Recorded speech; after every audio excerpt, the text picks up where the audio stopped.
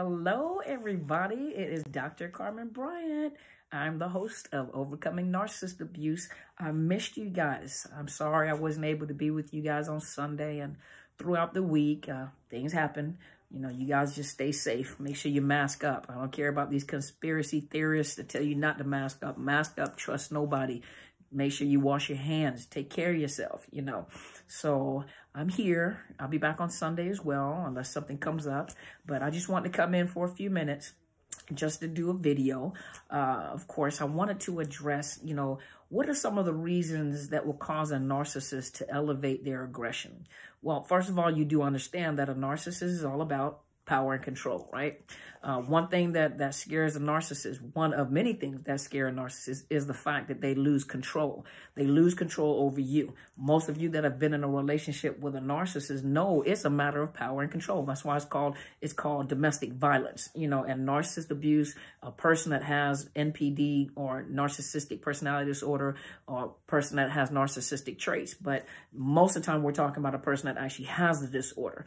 Um, but it does fall under the umbrella of domestic violence violence. And domestic violence, the core root of it is power and control. And a narcissist has to have power and control any way that they possibly can, meaning that they always are going to use fear tactics. You know, eventually it gets to a point, though, uh, some of them, not all of them, where they may not use physical violence, but if they have to resort to physical, phys physical violence, to scare you and force you into complying to their demands. They use guilt, they use fear. The biggest thing is fear, you know, the fear of, of abandonment, the fear of rejection, the fear, you know, be, being left alone, you know, it, abandonment, that's what it is, you know, the silent treatment. So a lot of times people will comply because they don't want to feel the fear of being ignored, uh, you know, feeling like they're rejected, you know, being left, you know, I'm going to leave you. So they use fear. And a lot of times when you begin to uh, and some of you have already experienced it, when you begin to strengthen yourself, when you begin to build yourself, when you begin to feel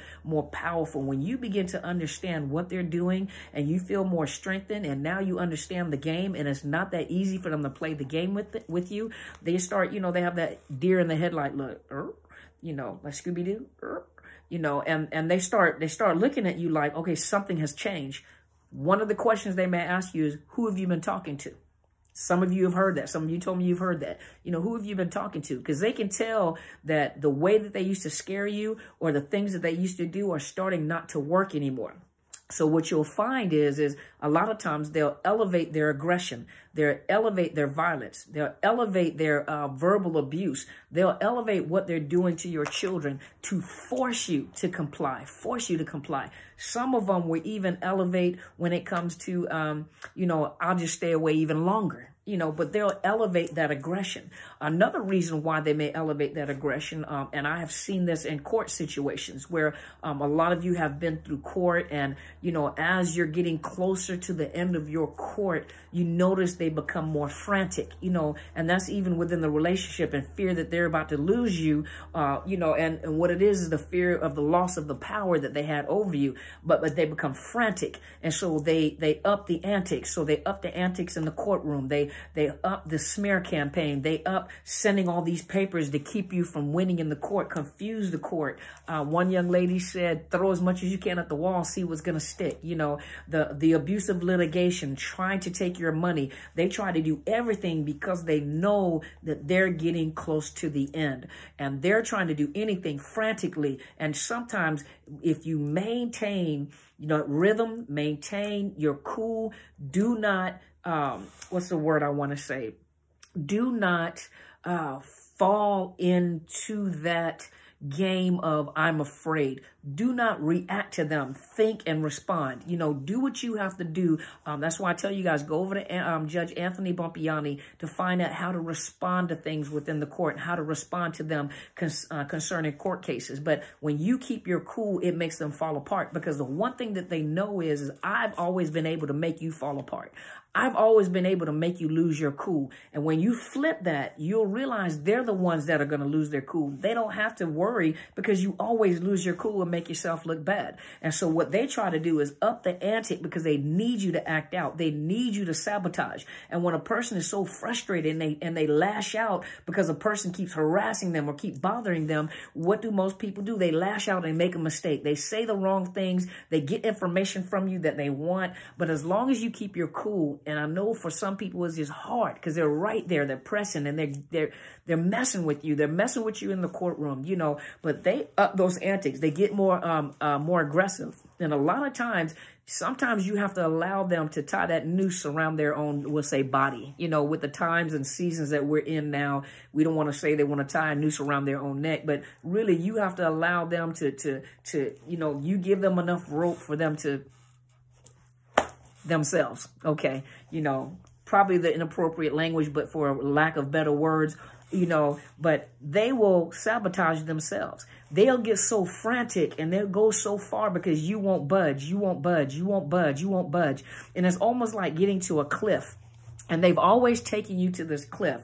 And they've always said, I'll pull you down and make you jump with me. You're like, no, no, no, no. As soon as you get to the cliff, no, no, they know that you're going to stop until one day you get to the cliff with them. They're like, I'll pull you down. You're like, let's go. We'll jump together. Let's go. Then all of a sudden, you're crazy. Something is wrong with you. Oh my God. Then they flip it because they'll take you. Some of them are crazy enough to take you to the edge and jump, but some of them, they they know when to stop. And a lot of you have to stand your ground, maintain your boundaries, respond, and don't react. Because when they realize you're no longer afraid, what's the worst you can do? Sometimes you get to the point where you're calloused enough. When I say callous, I don't mean so hard-hearted with lack of empathy, but sometimes you have reached your edge. They have taken you as far as they can take you. They have taken you to the edge to a point where you're like, what more can you do? What more can you do? Let's do it. Let's do it. And then they back up off of you. But a lot of times, even in the courtroom, they will go through the antics. They'll up the aggression. They'll accuse you, accuse you. And sometimes you want them to be just who they are. Because a lot of times when you allow them to be who they are, this is when it becomes very obvious to the judge and to the lawyers. And then they make those deadly mistakes. But most of them will up the antic when they feel like they're losing control. There's probably other reasons too, but just for the sake of the video and to keep it brief and short so I can go lay back down. But, you know, the, the reason why they up the antics is because of the fact that they're losing control. You're getting your control back.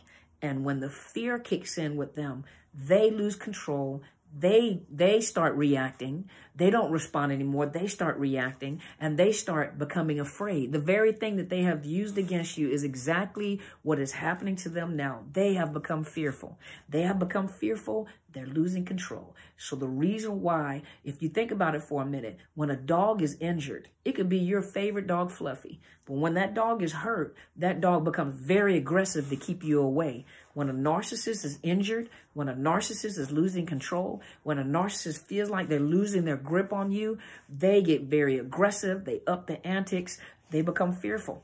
And you'll see that aggression. And sometimes you want them to self-sabotage. You want them to sabotage so that everyone can see what you're really dealing with. And a lot of that does not come from you. That's thanks courtesy, courtesy of the narcissist. You just have to keep your cool. Keep your cool.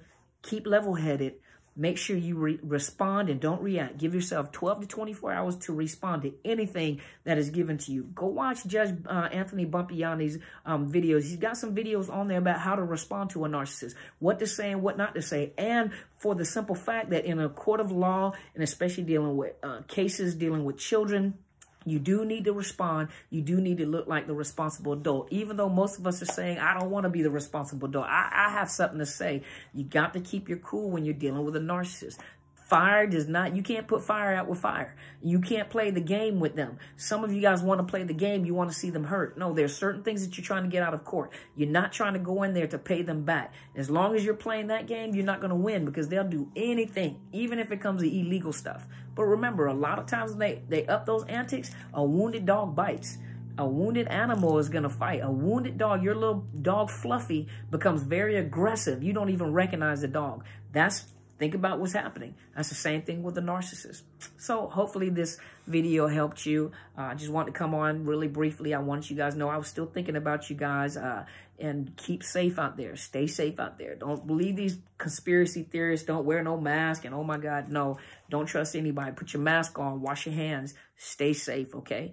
And listen, uh, I should be back on Sunday you know, I don't foresee anything stopping me from coming live so I can come and talk to you guys and love on you guys a little bit.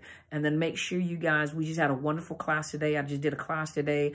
Um, the, the, people that went to class were awesome. I'm going to do another class for February and I'm getting ready to start the support group. So those of you that would like to join the support groups, I'm going to have uh, the same link that I always use. I'm going to have it available for you guys so that you can sign up for the support group. We don't want it to be too full because we still want it to be private and intimate. But we're going to start support support groups, okay? So that you guys can come join me and we can talk and you guys can, you know, you can vent. You know, that might be a safe place that you can vent and get things off of your chest. You know, if you're having to deal with a person, you know, that's a narcissist and, you know, respond versus reaction and you need somewhere to vent, we're going to open it up, you know, and we're going to have a, a, support group that you can come and you can talk to people that have been through some of the same things that you've been through. And we're here to support you. Make sure you go and uh, subscribe to my channel, Dr. Carmen Bryant, Overcoming Narcissist Abuse. And also my mother. Go check out my mother, who is Helen Sadler, your destiny helper. Make sure you subscribe and share. Make sure you check out Telsha Edenberg, Telsha with a T on NPD.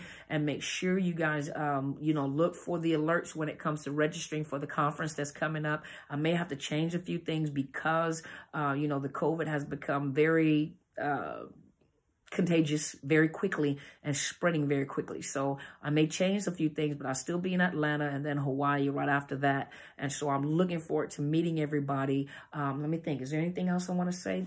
If you need coaching, make sure you contact me for coaching fees. If you're outside the state of Washington, if you're inside the state of Washington, let me know. Um, and I can check to see what insurance you have and if I am in network with your insurance. If you're not in the state of Washington, I cannot provide you with counseling. I can provide you with coaching, but it also depends on what you're asking for coaching for. Because a lot of times people are asking for coaching on mental health issues, and I cannot provide you with counseling, uh, coaching on mental health issues. Uh, for those of you that need therapy, please check out um, let me think, betterhelp.com forward slash Dr. Carmen. And if you click on that, they give you a 10% discount. Now, if you actually go Google and you put down narcissistic um, therapy, uh, narcissistic abuse therapy, narcissist therapy, and put BetterHelp on there, you can find some therapists that specialize in narcissistic abuse recovery.